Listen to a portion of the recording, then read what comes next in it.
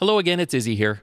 In this video, I want to share with you a solution to a common problem that you can run into in Final Cut Pro when you're working with audio. And the problem is that you have audio that you need to increase the levels of because when it was recorded, the levels were set too low. So the audio is too quiet and you needed to get up higher. This is something that's happened to me many times, whether I've recorded it or I've had other people do the recording. I get this audio, it's too quiet, I need to bump it up. So what can I do? Well, let me uh, just show you this demonstration clip here. We have this audio clip, as you can see here in my project. I'll just play through it.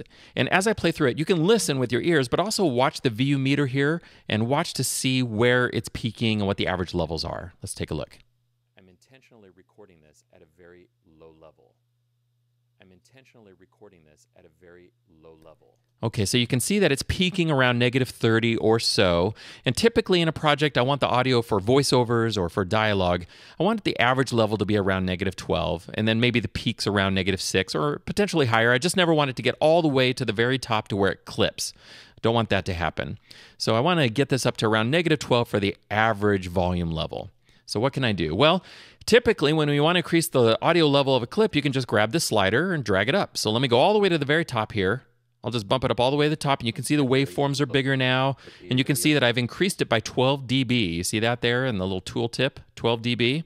Also in the inspector, I have the inspector open now. So with this audio clip selected, you can see that my volume slider here on the audio inspector is also maxed out at 12. I can't go any higher than that. See that? So I'd like to be able to go higher than 12, but I can't. That's the max. Let's see if it's enough. Let me play through this. I'm intentionally recording this at a very low level. So it definitely sounds better, but notice that the volume levels are around negative 20. I'm intentionally recording this at a very low level. Okay, so it's still too quiet. I need it to be even louder. Well, I can't get any louder using the inspector or using the control here on the clip itself. I can't do that. So what can I do? Well, it turns out there is a solution. It's kind of hidden, it's not readily apparent, but let's talk about it and I'll just show it to you. Let's go to the video effects browser. It's actually not just video effects, is it? It's also audio effects. If you scroll down, you see videos up here, and then you scroll down to you see audio, and then there's a section here called levels. Click on that, and then look for this one that's called gain. Gain is a way of increasing the levels. So let's do this. I'm going to just click and drag, drop it right on my clip. Now, initially, there aren't any settings. You'll notice that it's set for a gain of zero. It's not increasing it at all. Now, gain is one of those things you want to be careful with because as you increase the gain, it's sort of like the video image on a camera. If you increase the gain, it adds noise to the video image. Same thing here with the audio. It's going to add noise. If you increase it too much, you'll really hear that noise. It'll be a hissing or you know, some noise that's along with your actual audio signal that you want. So what I'm going to do here is I'm just going to add four dB to this. I'll just hit 4. I also have a slider here. I could use that. So I'm increasing the gain by 4. Let's take a listen, see how it sounds, and also watch that VU meter at the same time. Let's see if that's enough. I'm intentionally recording this at a very low level. Not quite there yet. Let's go up to 8. Maybe that. Play through it.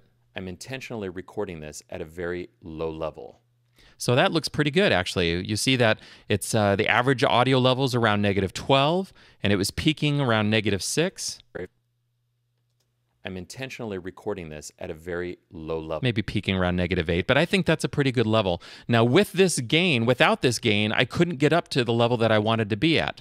But look, now I was able to. So using a combination of gain plus the volume slider, the volume control, I can get to the audio level that I'm going for. Are there other ways to do it? Sure, of course there are, but this is a very simple thing that you can try out the next time you have an audio clip where the levels are recorded too low. Hopefully found the information in this video helpful. I'll see you in the next one.